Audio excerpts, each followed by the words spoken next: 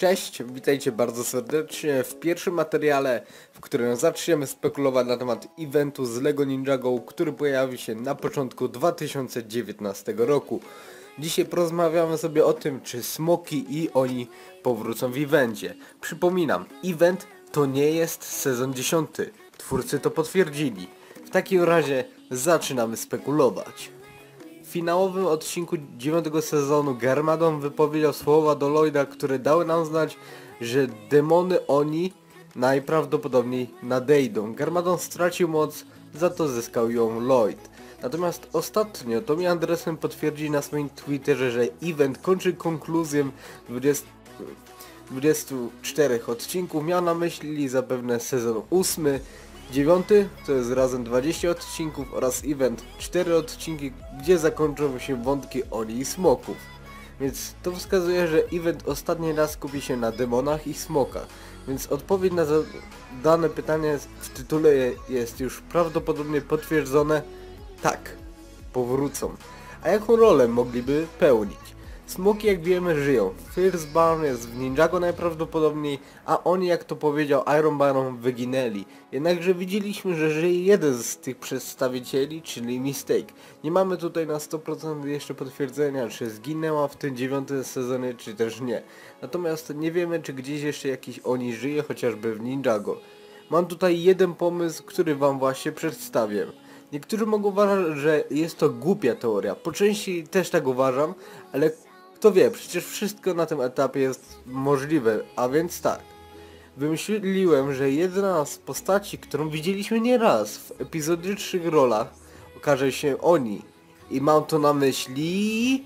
Listonosza. Dlaczego tak uważam?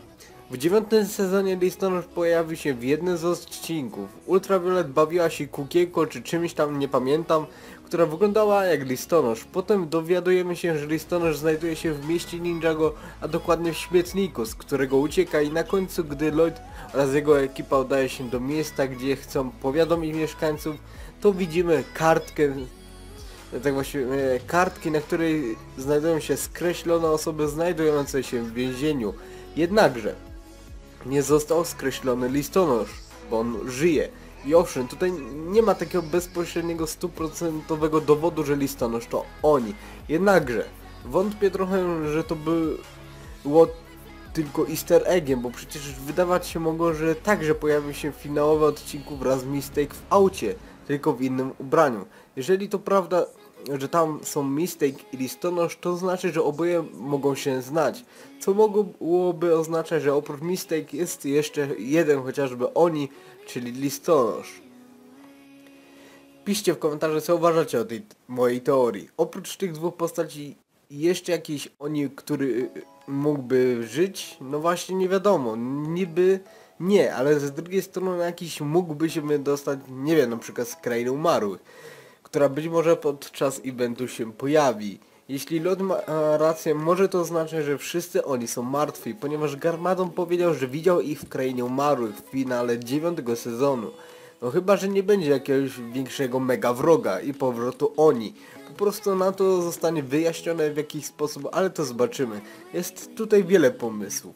Tak sobie myślę, czy jest sens właśnie na przykład dawać tych oni jako wielkich wrogów eventu. Po prostu faktycznie może to być wyjaśnione, a tak naprawdę Garmadon w finale 9 sezonu miał na myśli kogoś innego.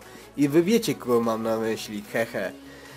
Mam też jeszcze jedną opcję, a mianowicie, że zobaczymy pierwszego Oni i będzie to ten, który stworzył maskę zemsty.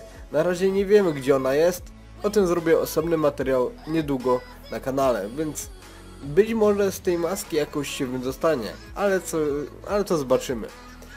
I to by było na tyle.